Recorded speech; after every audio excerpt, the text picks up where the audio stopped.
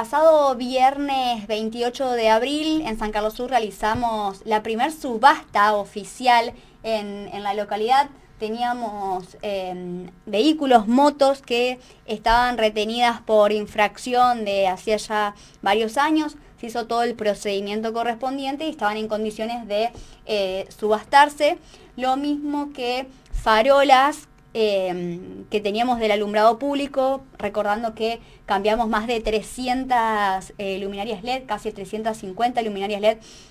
en todo el pueblo para optimizar el alumbrado público y que contemos con luminarias de 150 watts de, potencia y, mejorar ese servicio a, la comunidad con una inversión que hoy estamos hablando casi los 9 millones de, de pesos que siempre repito, no es menor para una localidad como la nuestra, pequeña, que los recursos eh, son pocos también y que estas inversiones se piensan siempre eh, en pos de mejorar la, calidad de vida de, los vecinos y porque también era una demanda puntual que, nos la venían planteando. Eh, habiendo hecho esto, estaban las farolas también que, que, fuimos cambiando y para que no quede como un residuo, decidimos también subastarla. Con lo recaudado en la, en la subasta, la decisión era, bueno, ¿qué hacemos con, ese dinero? Si lo usamos para, para gastos de, la comuna o eh, le damos otro destino. Entonces, analizando con, la comisión comunal, que era el, eh, destino que, podíamos darle, pensamos que tenga una, una función social y eh, estamos en un contacto permanente con todas las instituciones, eso, eso es cierto. Sabemos que cada una eh, trabaja arduamente para, llevarla, para llevar adelante sus actividades. Y también tenemos eh, un, un, vínculo también muy, muy directo con el Club Deportivo Unión Progresista desde siempre. Sabemos cómo trabaja el club, la comisión directiva, pero también sabemos cómo trabajan cada una de las disciplinas eh, la dedicación, el esfuerzo, el empeño que le ponen los miembros de las subcomisiones, eh, quienes desarrollan las disciplinas y los familiares de los niños que desarrollan esas disciplinas para, para poder llevarlas adelante. Entonces eh, tomamos la decisión de que lo que se había recaudado se distribuya entre las siete subcomisiones que tiene el Club Deportivo Unión Progresista, y estamos hablando de casi un millón de pesos que se distribuyó entre eh, estas eh, distintas disciplinas, como te digo, conociendo que cada una de ellas tiene distintas demandas, ya sea en indumentaria,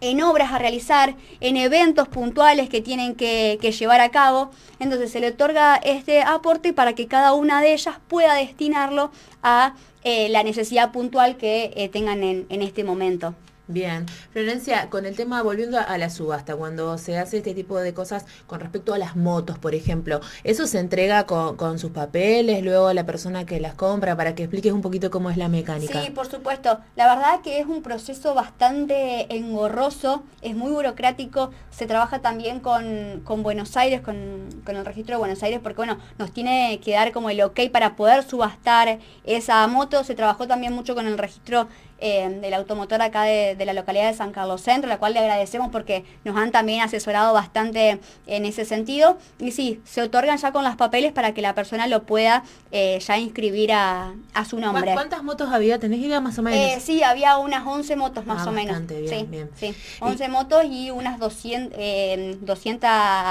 un poco más de, farolas, porque bueno, se tuvieron que seleccionar las que se podían... sí, y no. sí, porque recordemos esto se, se realiza mucho en el ámbito público porque eh, si bien uno las cambia por un tema también de consumo, en la calle se utilizan mucho más, esas que se sacan, esas farolas sirven, a lo mejor hay muchos que en galpones o en tinglados tienen este tipo de iluminación y cuando es una o dos no afecta tanto en lo que es el consumo como por ahí en el ámbito público, pero es bueno, es algo que se suele hacer aparte como decís, para que no quede como un residuo luego eh, de la comuna. Totalmente. Es más, algunas que eran como las más nuevas, las, nos las guardamos porque la idea es que si alguna institución la necesita para poner en, su predio, en, en, su lugar, eh, nos la piden y, se las entregamos también. Así que bueno, el objetivo es que algunas nos las quedamos por, por ese motivo, pero bueno, eh, si viene este... Mm,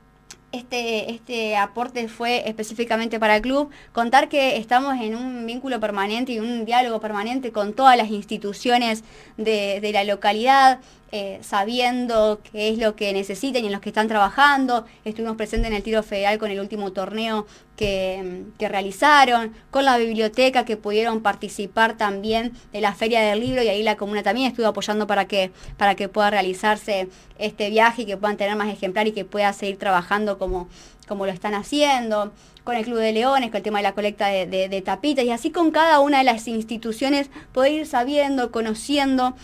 qué es lo que, va necesitando y en la medida de las posibilidades y lo, lo que tenemos a, nuestro alcance, siempre estar a disposición para que estas instituciones, que creo que eh, son el sostén de una, de una comunidad y son espacios de contención también de la sociedad, puedan seguir funcionando, que después de la pandemia costó mucho eh, arrancar nuevamente. Bueno, siguiendo con estas buenas noticias, mañana llega eh, la unidad móvil de, de ANSES a San Carlos Sur. Sí, mañana a partir de las 8 de la, de la mañana va a estar funcionando en el espacio de educación y capacitación comunal eh, en calle San Martín, donde era el Sindicato Obrero Cervecero, va a estar la oficina de, de ANSES, que es una, gestión que se consiguió a través del senador Rubén Pirola, al cual le aprovecho la oportunidad para, agradecerle también esta oportunidad, que la oficina de ANSES esté en, San Carlos Sud y que la gente tenga este acceso directo a un, a un servicio desde las 8 de la mañana hasta la 1 de la, de la tarde. Es por orden de llegada tiene prioridad la gente de, San Carlos Sur, pero puede acercarse también de la, de la zona si tienen alguna consulta o alguna, mm, o, alguna duda respecto de las prestaciones que brinda este organismo. Y siempre le digo que todos los que se acerquen traten de llevar la documentación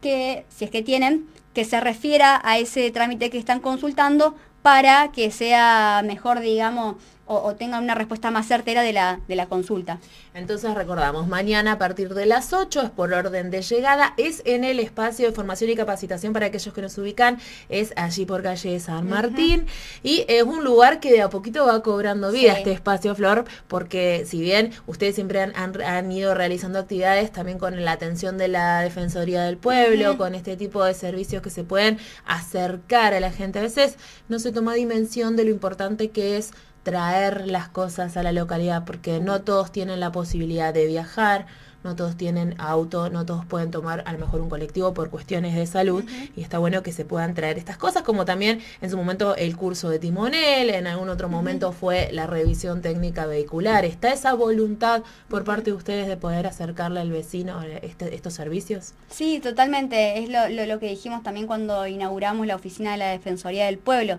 el hecho de, buscar eh, y llevar adelante distintas acciones que posibiliten o acerquen al, ciudadano la prestación de servicio, la consulta que a veces tienen que trasladarse o a Esperanza o a Santa Fe o a Galvez. Entonces, poder realizarlo en su, su localidad.